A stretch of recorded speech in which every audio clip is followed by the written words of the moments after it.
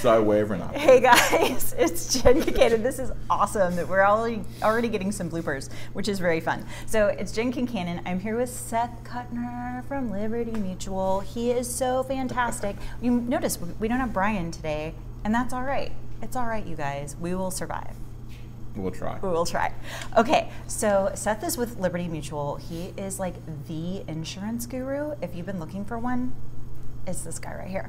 So, um, do you want to tell us a little bit about what you do and why you love doing it? Yes, so I work for Liberty Mutual, Liberty Mutual Insurance. Uh, we help people out with all their personal lines, home insurance needs. So, home, auto, pet, condo, liability. Basically, we make sure that when people have the worst day of the, worst days of their life, we're there to make sure everything runs smoothly and make sure the most valuable things in life are protected. Well, that's a nice way to be, and you, I guess kind of you don't want to see Seth on your worst day of your life, but if he's there, then he's got you covered. So that's fantastic, and thanks for the introduction. Um, so, what does someone need to get a quote from you?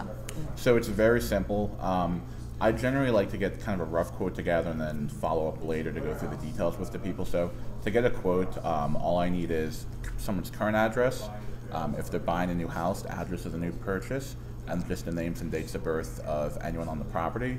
With technology these days, we can actually gather most of the information we need once we have those those basic things. Awesome. So you, what I'm hearing from you is that it's really easy to It's do a quote. It's super, super not easy. this terrifying moment. No, it's, It's not. easy. Yes, and still some people. I've had people call for new home quotes, and they won't give me the address. They'll just give me the zip code, and they think that's think that's adequate. It, insurance doesn't work that way, so Okay. that will never work. Thank you for that tip. So we'll come back with more questions with Seth.